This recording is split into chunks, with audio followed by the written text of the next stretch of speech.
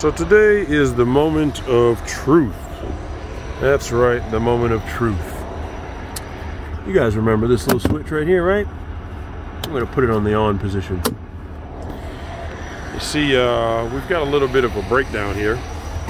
And I noticed it uh, about two days ago. The Hyliion system has been temporarily unavailable. Everything looks good over here. That's a check. And over here, yep, that is in the on position.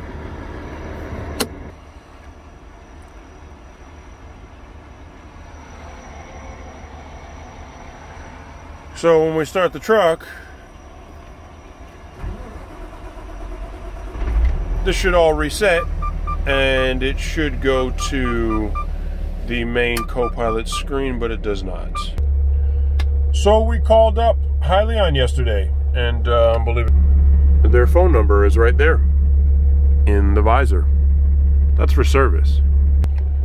Gave them a call, said that the system isn't working. Uh, this was yesterday, Monday, around 9.05 in the morning. They picked up. Um, very nice person on the other end of the line tried to resolve the problem with me over the phone and was working on the computer um, there in Cedar Park, Texas to try to resolve the issue uh, to no avail. So this individual called me back around 3:30 yesterday and said, "We will send somebody up to Midland, Texas, to work on it and figure it out today." Apparently, the issue that this screen here is frozen. We can't get out of this screen. Now, the individual did inform me, this is the individual at Hyliion in the service department, that the vehicle is safe to operate. Um, and everything appears to be working fine, but as you know, with the Hyliion Hybrid EX system, I don't have access to APU prep or the ability to turn the APU on or off, or, or I should say, nor am I able to confirm that the e-axle is actually working and engaging proper, properly. Me personally, I did not feel it. Uh, specifically last night, definitely when loaded it felt like the system was offline, not just on the screen. So today we will find out uh, how this process goes, and um, hopefully that'll give uh, some of you guys some insight on how Hyliion uh, takes care of their equipment when there is a malfunction or a breakdown. Get it back to the yard. Truck is moving, and we still have the same problem. It's not coming on here. So the guys are here and they're checking out my truck right now. They're gonna get it all fixed up. So, so far uh, we've only had to wait uh, less than 24 hours basically. And they're over here fixing it up. Okay, everybody, I've hopped in another truck here while we wait. And um, I spoke to the guys and they went out. Uh, looks like it may be a faulty connection cable uh, somewhere in the system uh, a cable that connects uh, the brain to the system itself. Uh, they believe the cable is faulty and they're in there working on it right now. It looks like uh, we got everything fixed up and we're going to take it out for a test drive. Right, guys, they made some nice little changes there. Look at this. That's cool. Because it's an auto right now, so right now it's basically the daily function when you drive it. Gotcha. In a minute, I'm going to put it in fast charge. You see? In fast charge, it, it doesn't use the system anymore. All it does is charge it for Keep an eye on it. So you can see a 20% low. So it's still not charging, not pushing. Just waiting for this traffic, guys, and then we'll get up on it. Yeah, man.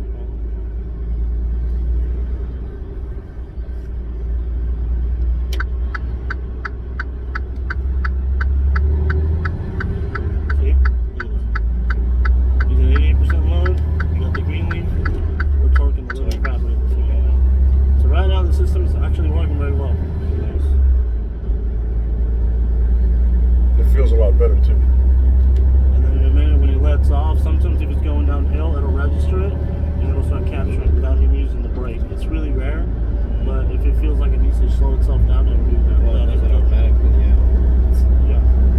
Uh, sometimes you just have the drivers just put their foot over the brake just in case. And not alone, just that little bit of pressure on top of the foot pedal charges it. And it'll pick it up and he's trying to slow down and it'll use the motor to slow down the truck and charge it. Here, up on it, and then we'll come back. This is a nice empty country road up here. Again, we're not. He's braking, so we're charging. So in a minute, I'll show you to put it in fast charge, and at that point, it will not use the, it won't push him at all. It'll do nothing but charge him, and that's how he charges the APU Okay. to use it. For the heater and AC. Just AC for now.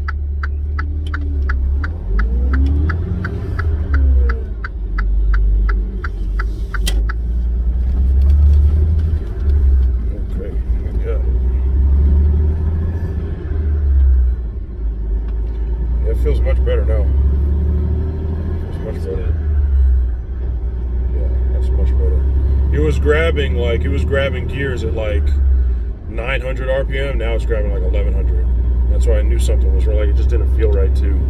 But uh, it's much better now. Are you close to the foot on the ground? Yeah, yeah. See, it's really 90% low. Let him blow over 80% low. Look, look, But all I care about right now is make sure the system's working. Blue and green, blue and green. That's an auto. Okay.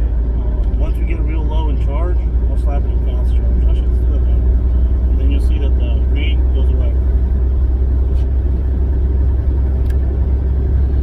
Alright, get it up to top Now he's- speed. now here. he's running a regular. He's just running nothing on the CNG motor. System's not going to work for him because he said he wanted to charge it on fast charge, right? The system completely shut down per se. Now, now all it's going to do is capture energy. All it's gonna do. Now, how, how is that doing it right now when it's not, you know? It's Right now it's not doing anything. If we were let off, all he's going to do is charge it. That's what fast charge is. See? Uh, So right now, he turned off the system per se. And all it's doing is capturing energy. Um, so that's what it gets that lift. Gotcha. it starts basically, it's not spinning the motor backwards. You can't really do that.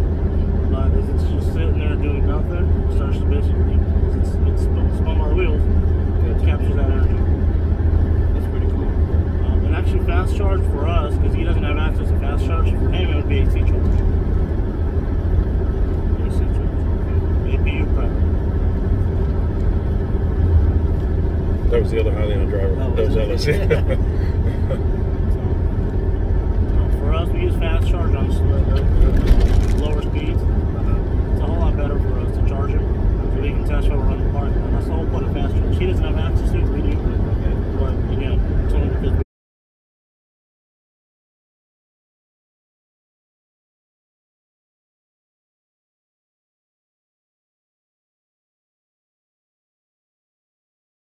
So that's more a little bit of a diagnostic for us. but it can run electric if you guys had to. You can run up to 15 miles an hour in electric. It depends on how much weight you got. Like I said, in bobtailing, just track Oh, it by yeah. itself. I can push it up to 15. Okay. Um, it's not really pushing up the mileage. It's uh, how much torque I want to use. Got it. It just depends on the weight of the truck. I've got it way all the way up to 15. I think I might get it moving with the trailer attached, Okay. but we never really tested it out. It's not meant for that. Does the Hypertruck ERX really make 670 horsepower?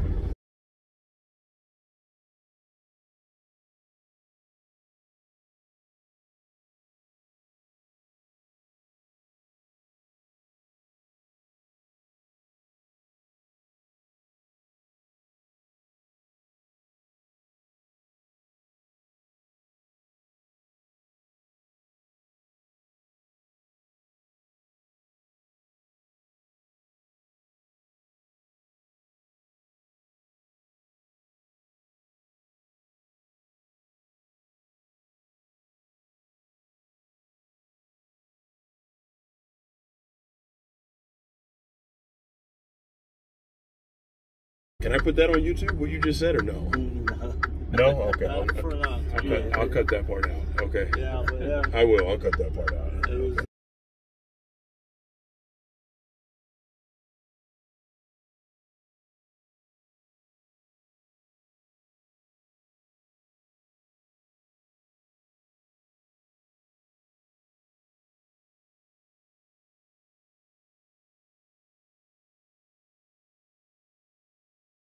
So, if we were in the Hypertruck ERX and we were going from zero to like 40, would it have to go through gears or no? no, all No. the way up, all the way up to about 60 to hold one gear.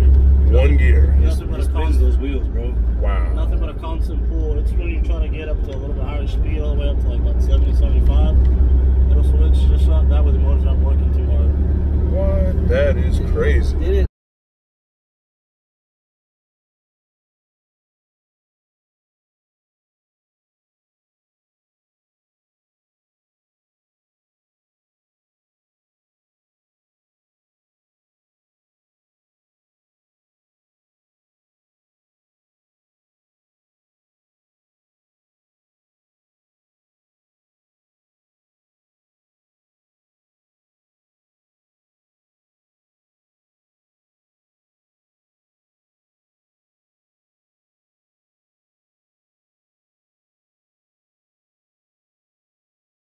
Yeah, but that's super important though if you drive a truck because in terms of just accelerating, like getting from zero to like 20, Yeah. like it's a lot of stress, especially when in the city, because you have cars trying to cut you off because they know you're going to take forever to get up to speed and you're like working gears. Like you can run this in manual, you know, you're just trying to get it going when you're fully loaded. Yeah. So I mean, that's pretty cool.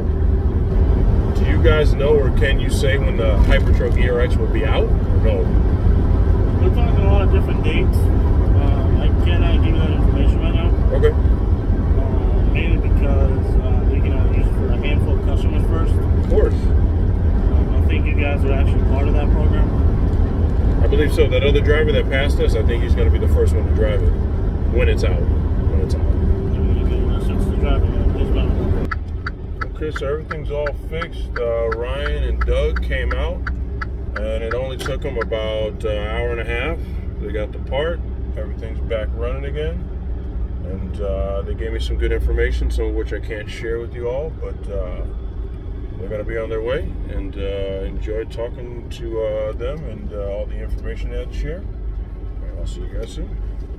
Okay, guys, so that's it. Uh, Ryan and Doug, the mechanic from Hyliion, came out.